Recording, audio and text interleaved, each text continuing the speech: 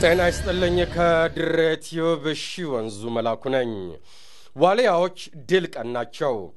2016 የቻን ውድድር የመጀመሪያ የማጣሪያ ጨዋታ የኬንያቻውን በባህር ዳር ስቴዲየም ያስተናገደው የኢትዮጵያ ብሔራዊ ቡድን ድል ቀንቶታል። ዋልያዎቹ ከ60 ሺህ በላይ ተመልካች በታደመበት የባህር ዳር ስቴዲየም ሁለት ለዜሮ በሆነ ውጤት ነው ያሸነፉት። አስቻለው ግርማና ጋቶች ፓኖ ብሔራዊ ቡድኑን ለድል ያበቁትን ጎሎች አስቆጥረዋል። ጋቶች ቢንያም አሰፋ ላይ በተሠራ ጥፋት የተሰጠውን የፍጹም ቅጣት ምት ነበር ወደ ግብ የቀየረው። አማካዩ ምንተስኖት አዳነ በ34ተኛው ደቂቃ ባጋጠመው ጉዳት በፍሬው ሰለሞን ተቀይሮ ወጥቷል።